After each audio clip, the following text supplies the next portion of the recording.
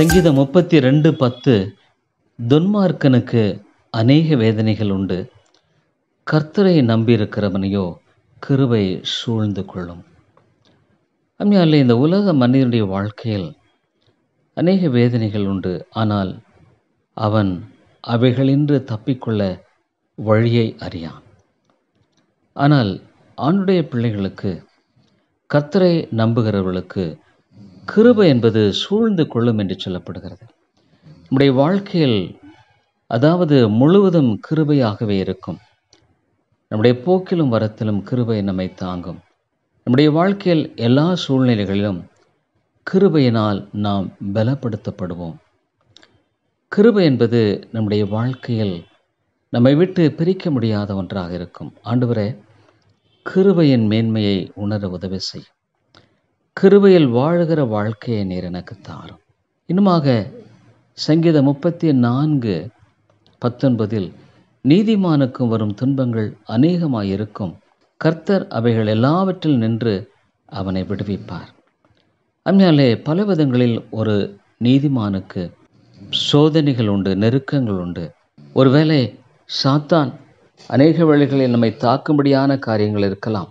அல்லது ஏன் சில சமயங்களில் தேவன் நம்மை சோதிக்கக்கூடிய விதங்களில்?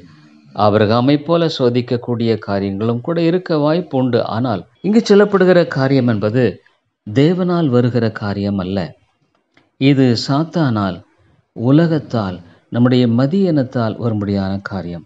நீதிமானுக்கு வரும் துன்பங்கள் அநேகம் உண்டு. துன்பங்கள் என்று சொல்லப்படும் பொழுது நம்மை பாதிக்கக்கூடிய நம்மை பாவத்துக்கு எதுவாக வழிநடத்தக்கூடிய காரியங்களாக இருக்கிறது.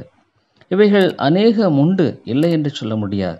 அநேக வழிகளில் நம் மதியனத்தினால் நாம் இழுப்புண்டு மாட்டிக்கொள்ளுகிறோம் ஆனால் வேதம் மிக அழகாக சொல்லுகிறது இவைகள் எல்லாவற்றின்ற கர்த்தர் நம்மை விடுவிப்பார் என்ன ஒரு அருமையான வாக்கு தத்துவம் போராட்டங்கள் நெருக்கங்கள் இவைகள் எல்லாவற்றின் மத்தியிலும் ஆண்டவர் நம்மை விடுவிப்பார். ஆண்டவரே துன்பங்கள் வரும் பொழுது சோர்ந்து போகாமல் உம்மை நோக்கி பார்த்து விசுவாசத்தில் பலப்பட்டு வாழுகிற கிருபையை தாரும்.